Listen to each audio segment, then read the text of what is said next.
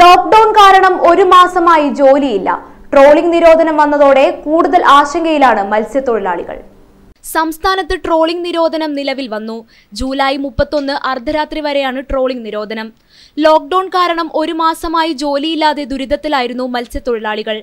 അതിനു മുമ്പ് മൂന്ന് മാസം കടലിൽ മത്സ്യലഭ്യത തീരെ കുറവും. ട്രോളിംഗ് നിരോധന കാലത്താണ് ബോട്ടുകളുടെ അറ്റകുറ്റപ്പണികൾ നടത്തുന്നത്. നിരോധനത്തിനു മുമ്പുള്ള ഒരു മാസത്തെ വരുമാനം കൊണ്ടാണ് ഇത് ചെയ്യാറ്. എന്നാൽ നാലു മാസമായി വരുമാനമില്ലാത്തതിനാൽ പണികൾ ചെയ്യാൻ കഴിയുന്നില്ലെന്ന് തൊഴിലാളികൾ പറയുന്നു. വായ്പാ തിരിച്ചടവുകൾ പോലും മുടങ്ങിയ നിലയിലാണെന്നും തൊഴിലാളികൾ പറയുന്നു പരമ്പരാഗത മത്സ്യത്തൊഴിലാളികൾക്ക് ഉപരിതല മത്സ്യബന്ധനം നടത്താം. ലോക്ഡൌൺ ദുരിതത്തിലും ഇന്ധനവില വർധനവിലും ബുദ്ധിമുട്ടുന്ന മത്സ്യത്തൊഴിലാളികൾക്ക് സർക്കാർ സഹായമാണ് ഏക പ്രതീക്ഷ. News desk real news Kerala.